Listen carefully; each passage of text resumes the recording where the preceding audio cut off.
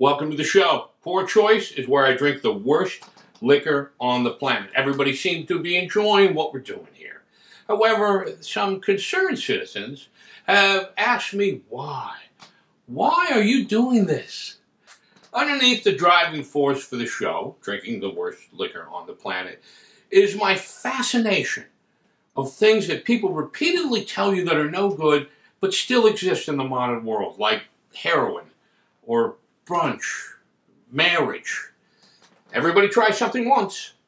However, people's stories of trying something for the first time are really not that interesting. Read any online review for a brunch, for example. It's either amazing or it sucks. There's no depth to it. I don't want to listen to stories about you trying something for the first time. I want to hear why you did it again. That's the story behind the show. And that's the story I want to hear because that's where the flavor is. What drew you back in the hole? That's what I want to know. That's why unsavory things in life exist. A large enough group ignored prevailing convention to crawl back for another taste. Which brings us to today's Pour Choice episode Thunderbird Wine.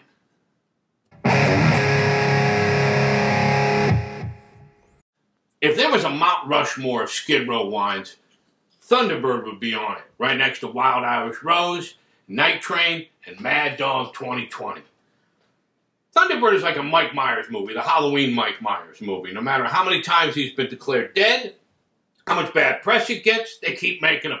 The people keep showing up for a sippy sippy. Thunderbird has a unique brand power, and that comes from its unique theme song. What's the word? Thunderbird. How's it sold? Good and cold. It's a not so secret code to let people know you were cool. Somebody asks you, what's the word? And you call back, Thunderbird. Everybody knew about Thunderbird, but nobody had actually seen it. It was kind of like the best picture nominees for the Oscars every year. Even though this was one of the original farm to Skid Row alley wines, you had to seek it out to get to it. It was never available in most liquor stores and never at any bars. If any bar actually had Thunderbird, it'd be the kind of bar that opens up at 7 o'clock in the morning. You forget about Wi-Fi. If the bar had Wi-Fi, the password would be fuck off.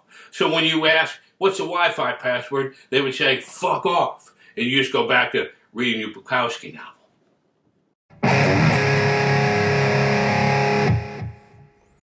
Now, ladies and gentlemen, we're going to drink Thunderbird. And this is actually an original bottle of Thunderbird. They stopped production of this and they made uh, a new version of Thunderbird. This is the OG Thunderbird. I've had this for a long time. And uh, I have no idea what I'm about to get into. I'm a little scared, I'll be honest with you. I've had guns pointed in my face. So this is scaring me more than the guns. Light a candle for me. Just don't leave it too close to the body.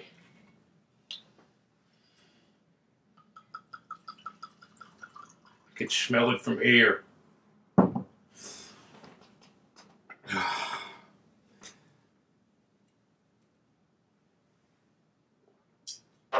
Oh. Oh. Fuck! I think a spider just laid eggs in my mouth. Oh. Oh, my my whole body hurts. Did, I get loofah with a ghost pepper? You know, this is uh this is perfect for playing that magic eye puzzle game because my vision is so blurry I can solve it instantly. Oh, that's a rocket ship. a picnic basket. Let's do one more. That's me passing out in an alley.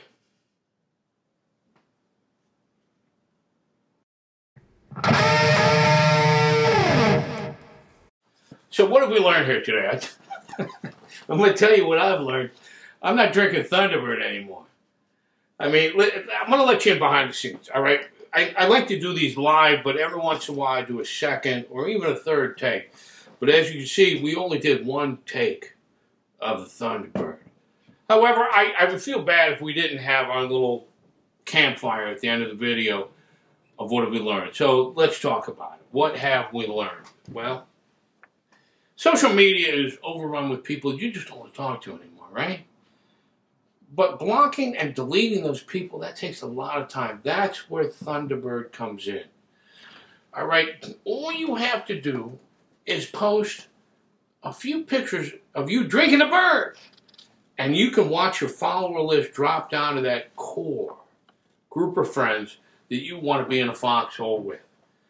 Thunderbird is for when you just want to give up on life and have conversations with the bottle of Thunderbird in that secret wavelength that the government sends into space to talk to other planets. Right? Did you like the show today, Thunderbird? Yeah, me too. It's good. Are you, uh, did you subscribe to my YouTube channel? My mother, what? Hold on, I didn't hear you. What was that?